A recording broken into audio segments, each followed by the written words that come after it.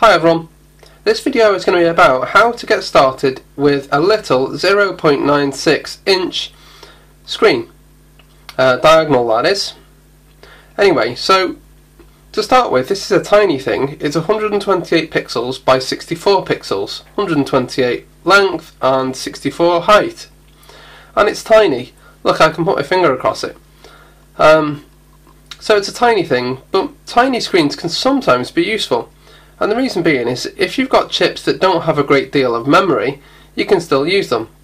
Because of course the way screens work is that you have a library which contains the fonts and, and graphics and whatever code to get that to work. But also, if you think about it, there's 128 pixels by 64 pixels, and if you multiply one by the other, you get the total amount of pixels in the screen. And now the data to fill those has got to be stored somewhere. So for chips which don't have a great deal of memory, like this one, uh, this is perfect. It means we can actually use the screen. So anyway, um, so a little bit more about this. Let's have a quick look at it. On the back of this thing here, it says I2C, R1, R4, R6, R7, R8, and then it says 4SPI, R3, R4. But when I first looked at that, I thought, what the hell is that? But I know what it is now. And what it is is, you see these tiny little resistors here? R4, R2, R3, R1. What it means is, if these are shorted, or near shorted, because uh, technically they've got a resistance, um, then it indicates the model, or the type. On my one here, you can see that R4 and R3 are shorted together, the contacts are shorted together. And that indicates that this is a 4 SPI model. So that's the first thing you'll need to know. So it's SPI, it's not I squared C or I2C as some of you call it. It's SPI, which is Serial Peripheral Interface.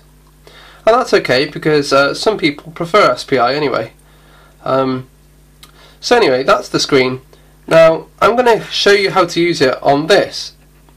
And this is an Arduino Nano. And if you look at all the tutorials online and stuff, there are not many tutorials for the Nano at all.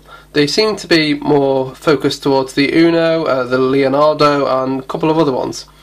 But I don't actually have a, an Arduino Leonardo or whatever it's called, um, and I prefer the Nano and the uh, Pro Mini. So anyway, let's get started. So of course, the first thing we're going to need to do is to wire this thing up. And you can see here it's got certain labels on it. It says ground, VCC, D0, D1, RES, DC and CS. So what are they to start with? Ground is obviously ground, VCC is plus an amount of voltage, usually 3.3 or 5 volts. Um, in this case we're going to use 3.3 volts. Now I think this actually is 5 volt tolerant but let's not push it. Uh, D0 and D1 they are data control um, pins to give this data. I won't go any more into that. Reset, I assume, although I'm not 100% sure, I think that may have been mislabeled, but I'm not 100%. I think uh, the label should be something else. DC means data command, and CS means chip select. Anyway, so let's push this into the breadboard, and let's start wiring it up. I'll just zoom in a bit there. Now, it's took me quite a while to uh, to work out how to get this thing to work with the Nano, because like I said, they usually uh, the tutorials are usually for other um, other devices or other modules or whatever you want to call them. So I've written this um, to help us out here. So ground to ground, VCC to 3.3 volts, D0 to serial clock, D1 to MOSI, reset to D8, data command to D9 and chip select to D10. D8, D9 and D10 I think you could probably change but uh, I've not tested it, I've just tested it this way and I got it to work this way. So let's get started. Um, I'll zoom in again. We'll start with ground. And ground goes to ground of course. VCC goes to 3.3 volts uh, what do we have next? We have D0 which goes to uh, serial clock so D0, D0 goes to serial clock which is pin 13 on the Nano. Next we have D1 and D1 goes to MOSI and MOSI is pin 11 I think. Yeah, pin 11. The reset pin, uh, which probably isn't actually a reset pin at all but it's been labelled that way. Reset I'm going to put to D8. D8, there we go. Um, in fact, I'll change that. I'll change that to a yellow wire, D8. Um, DC goes to D9. DC to D9. And CS, which is chip select. DC is data command, by the way. And chip select will go to pin 10. So that's all the wiring done, and now it's time to go over to my PC. Okay, so we need to install the library. So go to Tools, sorry, not Tools actually, go to uh, Sketch, then Include Library, and then go to Manage Libraries. And the library we need to look for is called SSD1306. SSD1306. And you can see this one here that's um, by Adafruit. Um, this is the one you need to install. Now, there is something that I need to mention here actually. Um, this company, Adafruit, I've spent a long time uh, creating all these libraries and I haven't actually bought my hardware from the company. And if you do buy hardware from the company, they use the money that they get from that in order to reinvest it into the community and to write uh, new libraries. So by buying their stuff, you're actually supporting their software that they write uh, for us. So um, yeah, I suppose it's kind of ethical to buy one or two items from them uh, every now and then. Um, but you know, of course, it's up to you. So install the library. Then when you've installed the library, go to File and then Examples and then go down here to SSD1306. For me, I've got the 128 by 64 SPI version, so I'm going to click there.